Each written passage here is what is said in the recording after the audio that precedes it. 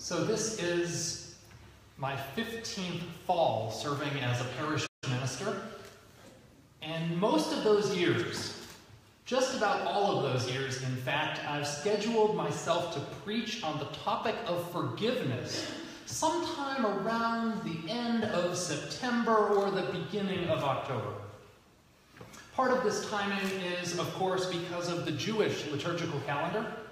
This is the time of the year when Jews observe the high holy days, which include the Jewish New Year, known as Rosh Hashanah, followed by Yom Kippur. Yom Kippur is the Day of Atonement, a time of setting right and seeking to atone for mistakes, a time for recognizing promises and commitments not kept, a time of intentional turning towards our better selves and realizing that such turning is possible for us. So, the resonance with the Jewish liturgical year is one reason, one big reason that I plan to preach on forgiveness around these, this time each fall. The other reason, though, is this. By the time that we're about six weeks or so into the church year, give or take a week, it's by that time that I realize I'm in need of forgiveness. I've returned from summer vacation. We've returned to two services. We've kicked off children's religious education and youth religious education and campus ministry and adult programming. The choir is back and singing. We're rehearsing for the musical. Planning for the auction is ramping up, and the building campaign is, is beginning to kick into high gear. And six weeks into the church year is about that time that I realize that the year ahead will be, in fact, is already painfully and beautifully imperfect. That there are emails unanswered and things said in sermons that turned out to be far less brilliant than I thought they sounded when I wrote them, and appointments double booked and the wrong thing said to the wrong person at the wrong time and this is the time of the church year when it's good to speak on forgiveness. Because chances are that I might have done something to make you mad or vice versa. So this year, I decided that I was going to look back at what I've said about forgiveness in the past to try to figure out what I might want to say this year. And so I went back to the very, very beginning. The first time I preached on forgiveness Way back in my very first year of ministry, I decided that morning that I was going to talk about the Truth and Reconciliation Commission in South Africa. Might as well start with something easy, right? I talked about that process of truth telling, that process of healing, of repair, and yes, even forgiveness that followed those decades of torture and terror. And so I was curious. I said, well, that's what I did my first year. What did I do my second year? And so I looked up the sermon that I gave in my second year in ministry. And that year I told a story, uh, a, a beautiful and amazing story of a man whose daughter was killed by a drunk driver. And in this story that I told, the man begins a relationship with the young man who killed his daughter in fact, becomes, he becomes a father figure to him. And in fact, they go on the road together, speaking together in schools to young people about the perils of substance abuse and drunk driving. What amazing, what amazing forgiveness. Can you even imagine that kind of forgiveness? And then in my third year, I won't, I won't go through it. Uh, that's, that's not going to be, we're not going to, do a, we're not going to do best hits. But, but I realized that, that what those sermons, I actually see, see somebody out there who heard those, who heard those um, early, early sermons. What they had was kind of a formula.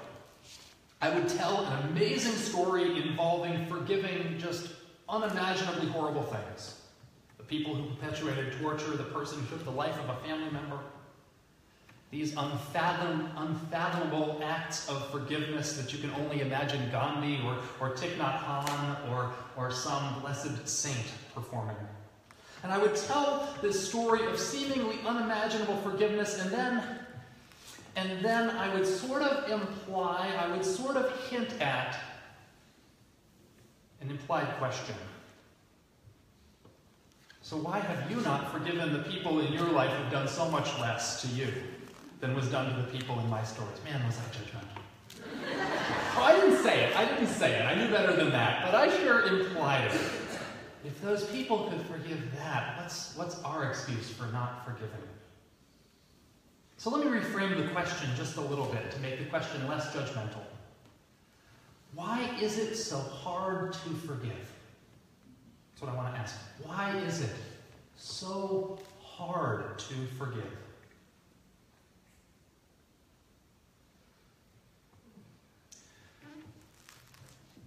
One reason it can be hard to forgive, seems to me, is, is when there has not been some form of justice or even some form of remorse and contrition expressed by the person who you've not forgiven. So say, I'm not going to forgive until that person suffers the consequences of having hurt me.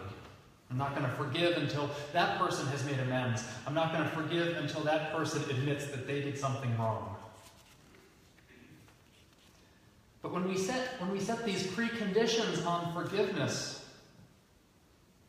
we can create situations where forgiveness is never going to happen.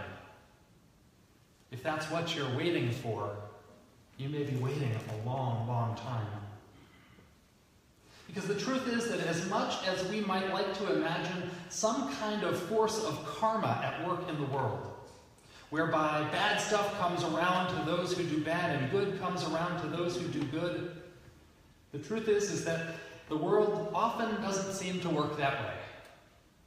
As it says in the Gospel of Matthew, God makes the sun shine on the wicked and the good and causes rain to fall on the righteous and unrighteous alike. Even in those examples that I mentioned earlier, those heroic acts of forgiveness that, that I don't think I, I, I don't think I could do. Even in those heroic acts of forgiveness, in those examples, the person who acted wrong, bad, badly, is held to some form of account. I think sometimes it's possible for us to hold a grudge, to not forgive, for the purposes of trying to add one offsetting stone to the scales of cosmic justice. They may have gotten away with it, but I'm still going to be mad at them. At least that is going to be on that side of justice. Another reason why it's hard to forgive is that it can feel good not to forgive. I read a piece on BeliefNet about Jewish understandings of forgiveness, and this piece says this, says this. Sometimes it says we cling to anger not because we have to, but because it gives us something. The feeling of our own righteousness, a reason not to deal with another, a clean line to draw between good and bad. But to forgive someone is to believe them to have been wrong and to let go of the moral leverage that that grants us over that person. Forgiveness is renouncing the position of remaining superior. It is a leveling born of letting go. It can be hard to forgive. It can be hard to forgive because it's too soon. It can be hard to forgive because there's still too much pain. It can be hard to forgive because the pain is people are continuing to be hurt. And those reasons not to forgive, they, they seem really legitimate. But it's also hard to forgive because we just can't stand the thought of that person getting away with it. It can be also hard to forgive because it feels so good to be right.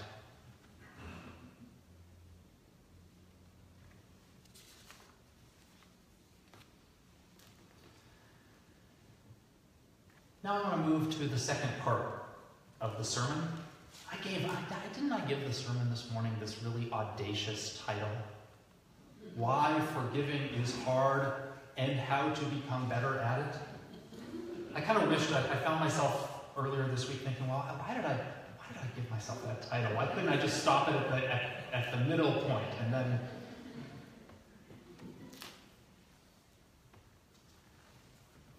how do we get better at forgiving? I want to ask.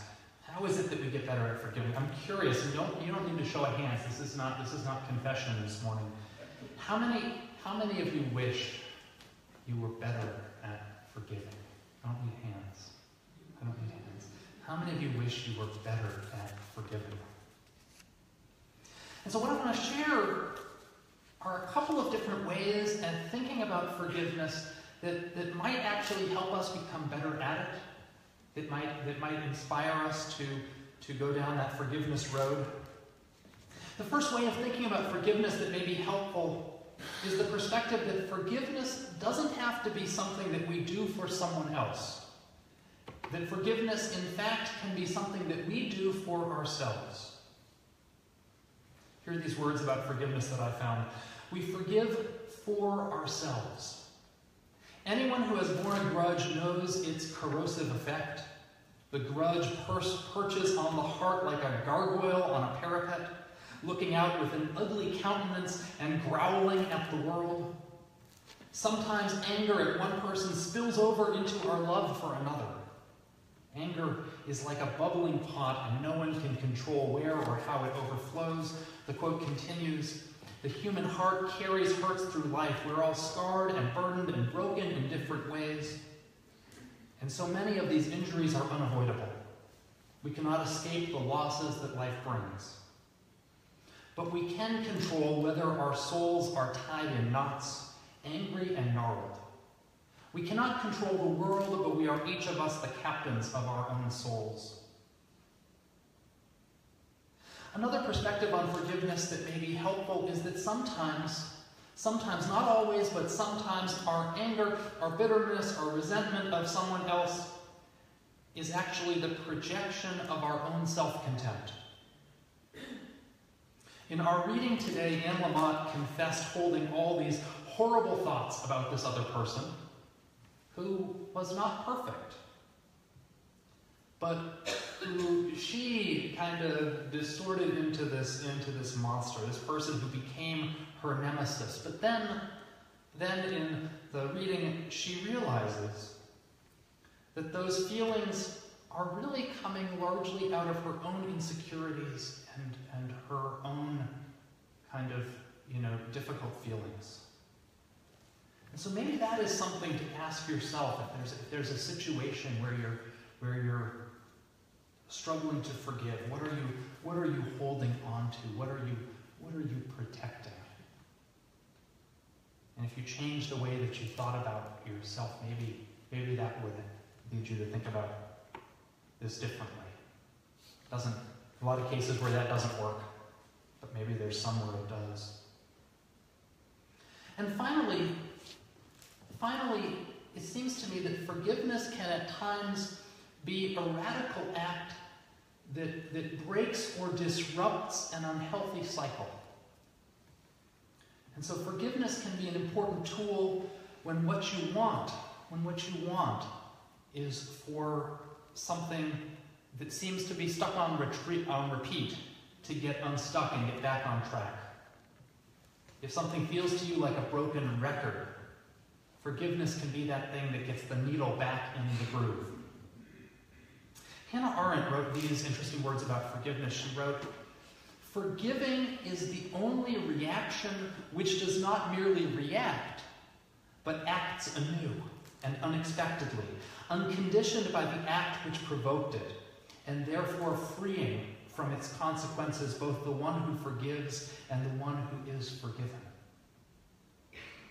Without forgiveness, the cycle only continues and perpetuates, but it's forgiveness that actually can get that cycle unstuck. And so if you're feeling that it's hard to forgive, there's, there's three questions that you might ask that might actually lead you down that road to forgiveness. Which is not to say that, which is not to say that all things must be forgiven, which is not to judge you and say that all things should be forgiven. But you might ask yourself these three questions. Would forgiveness in this instance be a gift to myself? Would forgiveness be a gift to myself? Would it actually feel good? Would forgiveness help me to face something that I would be better off facing? Would forgiveness actually improve me? Or be a, be a, be a, a place of learning and growth for me? And then thirdly, if I want to get this situation unstuck, would forgiveness help that to happen? Would forgiveness be the, be the grease in that wheel? It gets it out of the rut. If those answers to any of those three questions are yes, then, then perhaps that's a place where you might explore forgiving. I want to leave you this morning with a, with a quote attributed to um, the mystic poet Hafiz It's a quote that didn't fit in the sermon anywhere else, but it was too good not to include. So I forgive you for going off. I ask, I ask for your forgiveness for going off on a tangent at the end. Hafiz said, Forgiveness is all the cash you need. All other kinds of silver really buy just strange things. Amen blessed day. Our closing hymn this morning is um, a favorite of ours. It's number 318 in the gray hymnal, We Would Be One, as now we join in singing our hymn of love to pledge ourselves anew to that high cause of greater understanding of who we are and what in us is true. Please rise in body or in spirit and join in singing hymn number 318.